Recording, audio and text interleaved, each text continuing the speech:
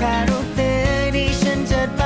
ทุกวัน เพลงนี้ก็เป็นเพลงที่ทำเพิ่มขึ้นมานะครับ เพราะว่าหลังจากที่เราแต่งเพลงแรกไปแล้ว แล้วก็น้องบีก็พูดว่าเฮ้ยทำไปทำมามันมีฉากกุ๊กกิ๊กเยอะนะ อะไรอย่างเงี้ยอยากได้เพลงบวกบวกเพิ่มอะไรเงี้ยครับเราก็เลยเพิ่มเพลงนี้เข้ามา พี่ก็เป็นคนเสนอคอนเซปต์เองว่าเออเราพูดถึงเรื่องนี้ดีไหมเออยังไม่รักตอนนี้ไม่เป็นไรเนาะแต่เดี๋ยววันหนึ่งเนี่ยฉันจะทำให้เธอรักฉันให้ได้อะไรอย่างเงี้ย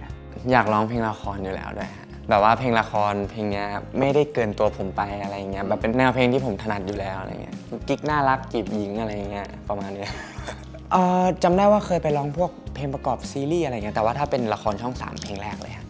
มันมีความต่างอยู่ฮะเพราะว่าเพลงปกติของผมเนี่ยก็จะทำกันขึ้นมาเอง แล้วก็มีพี่ช่วยนิดหน่อยอะไรเงี้ยแต่ว่าคราวเนี้ยมาร้องเพลงที่พี่หนึ่งแต่งก็จะต้องมานั่งทำการบ้านก่อนว่าเขาอยากได้อะไรในตัวเรา จริง ๆ วันนี้พี่ก็แค่บอกว่าให้ร้องเป็นตัวเอง เพราะเรารู้อยู่แล้วว่าเออเพลงมันค่อนข้างเข้าทางเขาอะก็เลยแบบเออเป็นตัวเองรีแลกซ์นะเพราะเพลงมันแบบบวกๆเราจะไม่พยายามแบบให้เขาแบบนักร้องเครียดในเพลงที่ที่มันบวกขนาดนี้อะไรอย่างเงี้ย คือตัวผมอาจจะไม่ค่อยได้ดูละครอะไรเงี้ย แต่ว่าแม่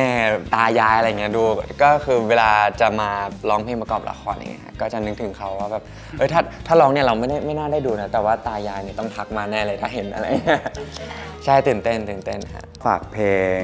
วันเดย์นะครับประกอบละครละออจันทร์นะฮะแล้วก็ฝากน้องเฟิร์สด้วยนะครับสำหรับแฟนๆช่อง3นะครับน้องก็มาร้องให้เราเป็นเพลงแรกในชีวิตก็ฝากน้องด้วยฝากทุกคนด้วยนะครับ